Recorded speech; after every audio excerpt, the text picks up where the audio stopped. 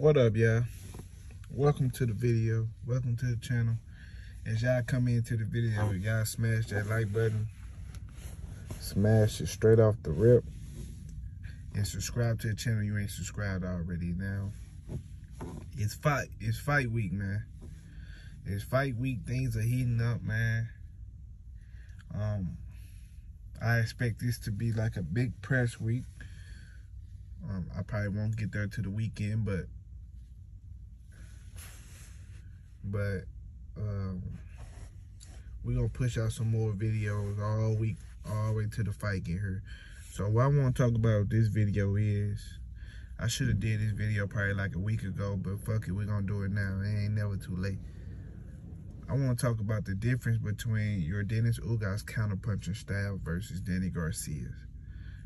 You know, um, I feel like this is a good topic to talk about because Errol Spence just got done fighting Danny Garcia his last fight.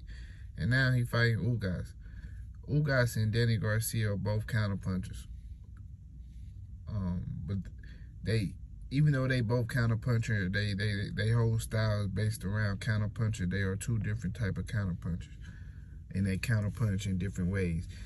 To me, Danny Garcia, he counterpunch all off like blocking majority of the time. Like I watched him, I watched him train him and Angel Garcia in his camp or whatever. Uh, I see a lot of Danny Garcia like you can pose as you hitting him with the miss, and he'll swing right after that. Like for instance, you touch him with the soon as you touch him, that's how they train. They soon as you touch Danny Garcia, he throwing a hook instantly. He throwing the hook soon as you touch him. And that's a good way to knock opponents out. That's how he caught Amir Khan, right in the middle of the punch. Amir Khan hit him at the same exact time as he hit him with the hook.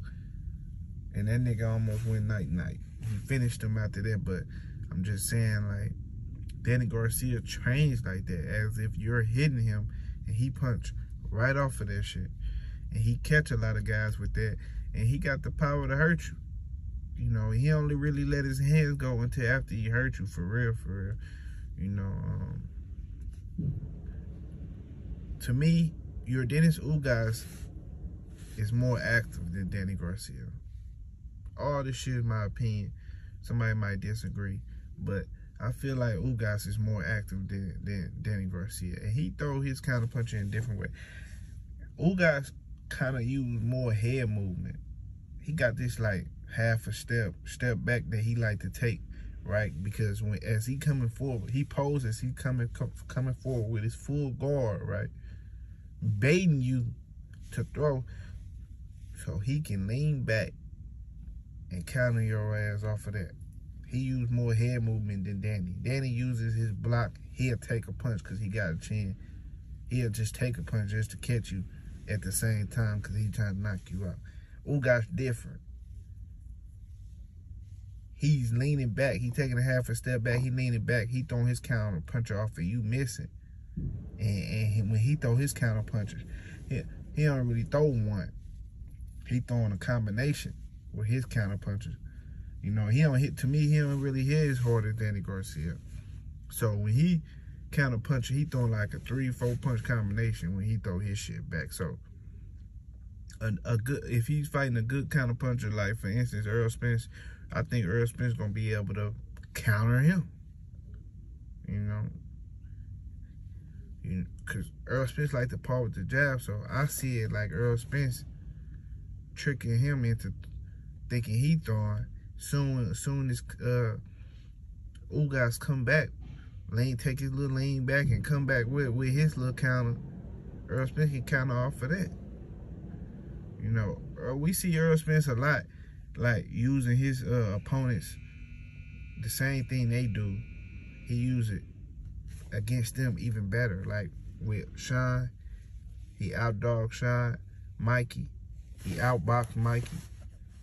He out counterpunched Danny. On and on. Like he he can do the same thing these guys do, but better than them. See, these guys that Errol Spence be fighting pretty much one dimensional. See, Errol Spencer's an all around fighter. See, you you won't focus and dial in on one thing he do and be like he's that type of fighter because he can just switch it up and do something else. He can do all the shit, so you can't really see exactly what he what he's best at. It's, it's based on whatever he feels like doing, for real, for real. When you think about it, it's just whatever he feel like doing that that night, that's what he want to do. I, I believe this gonna be an inside type of fight. You know, we gonna see who who, who the fuck can throw the best body punches. Who gonna be the most successful on the inside? I say Earl Spence because he's stronger than Ugas. Ugas gonna be able to tell very quickly, okay, you know, I keep counterpunching with this dude on the inside, he gonna fuck me up. But by that time, he done already drained you. I heard Chris Van Heerden say something about how he was fighting Errol Spence, right? He felt like Earl Spence wasn't hurting him as bad. But by the time four, five, six rounds then went by, he finally figured out, damn, he draining me.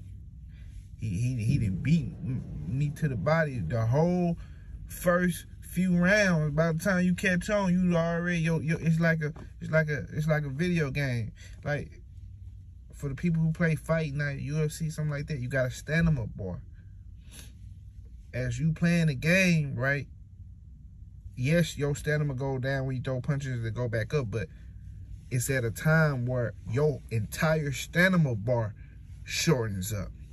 And that's what he kind of like doing to you in a video game sense. He's he's shortening your stamina bar, bro. Shortening your shit up. So even though you still got stamina left, but you don't have as much as you, you know, started the fight off with. So that's when he get to dwelling on you and letting loose on your ass in the 7, 8, 9, 10, and for further on and fuck around stop you in the, in the 10th, 11th, 12th. That's when he on the verge of stopping you by that time toward the end of the fight. But like I was saying, man, Ugas counter punching, right? He he steps back, right? He he he, he come forward with his hunchback with the full guard. Soon as you throw, he lean back. Throw his counters. Danny was different. He catching shots. That's what Danny, he catching and shooting.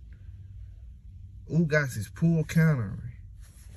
So, I didn't see Errol Spence do a lot of pull counter. I believe he just as good as Ugas the counter puncher. He he that's just not what his whole game is around. So I believe Ugas got another thing coming, man. This gonna be an inside, you know, shootout. That's what I believe. I believe this gonna be an inside fight shootout. You know, body punching. You know, that's how.